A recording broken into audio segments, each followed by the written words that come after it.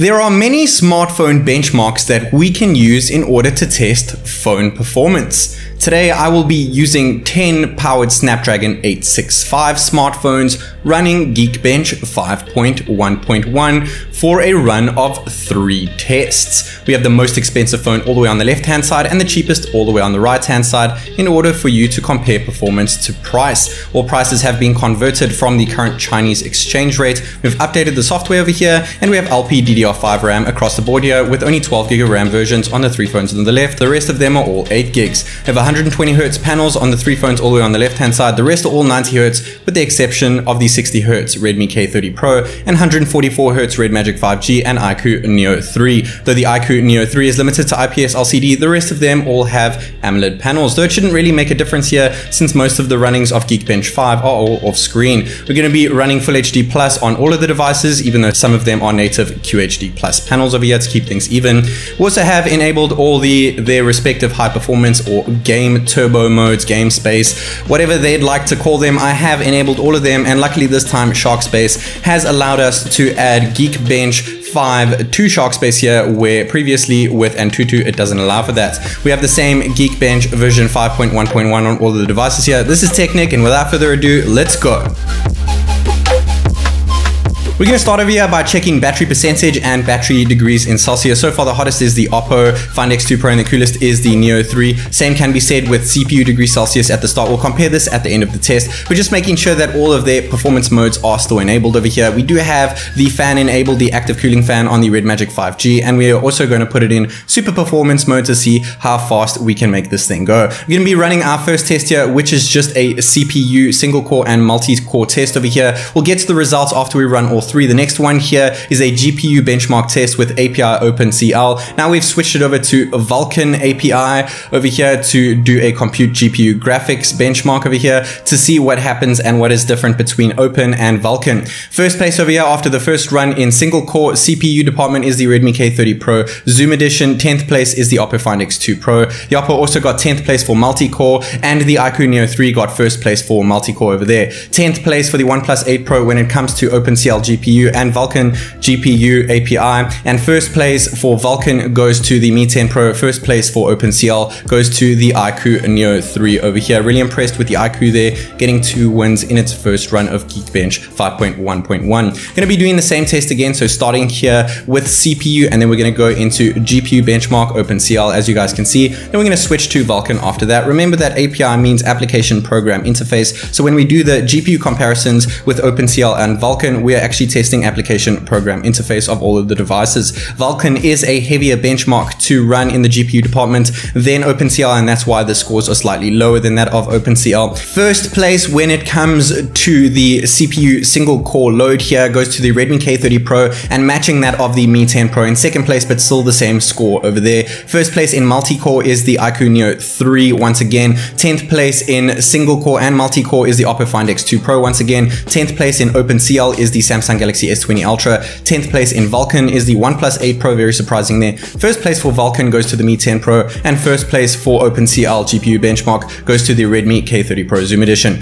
Now the third and final run of Geekbench version 5.1.1, we're going to do the same thing, starting with CPU single and multi-core, and then going to OpenCL Compute API, and then after that doing Vulkan, and then we'll compare all of the results at the end of the test with a very in-depth comparison. We'll get to that in a minute. Let's first get to the results of the third Geekbench version 5 run over here. Vulkan's first place goes to the Mi 10 Pro once again. Vulcan 10th place, last place, the OnePlus 8 Pro again, and the OnePlus also got 10th place, dead last for OpenCL. First place for OpenCL goes to the Redmi K30 Pro, and first place multi-core CPU goes to the iQOO Neo 3 once again, with first place going once again to the Redmi K30 Pro Zoom Edition with single core. Once again, 10th place in single and multi-core performance here. Really disappointing with the CPU department on the Oppo Find X2 Pro. Its cheaper brother, the Ace, is doing a better job here. When it comes to battery percentage and battery degrees in Celsius, the biggest drain here goes to the OnePlus 8 Pro with minus 13%, the same of that of the Red Magic 5G, which does indeed have a smaller battery.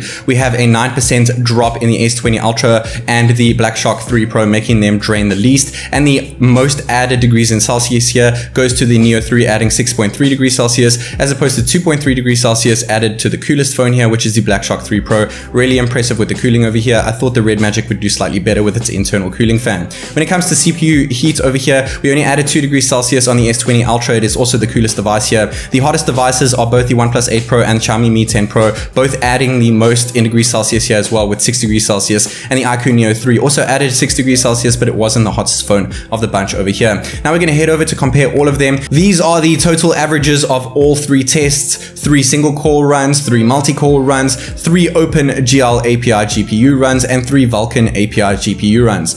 In the single core department, when it comes to the CPU, first place gets allocated to the Redmi K30 Pro Zoom Edition with a score of 948. Not far behind is the Mi 10 Pro with second place with a score of 946. Last place here is the Oppo Find X2 Pro with a score of 779 and not far behind its smaller brother, the Oppo Ace 2 in ninth place with a score of 843. When it comes to the multi-core CPU department over here, when we are using all of the cores of the octa-core Snapdragon 865 processing chip, first place gets allocated to the iQOO Neo 3 here with a score of 3,465. Not far behind that, once again, is the Mi 10 Pro with a score of 3,423 on average. 10th place, no surprise here, the Oppo Find X2 Pro with 2,820 points. And not far behind that, once again, its little brother, the Ace 2 with 2,968 points. When we get into graphics, processing units over here, also known as GPU. The first API overhead that we did was OpenCL, which is more graphics friendly, less as heavy as Vulkan. So for OpenCL, first place gets awarded to the Redmi K30 Pro Zoom Edition with 3,287 points. In second place, not far behind that, is the iQOO Neo 3, just with 10 points less than that of the K30 Pro Zoom Edition with 3,277 points. Dead last year is no longer the Oppo brothers here, but this time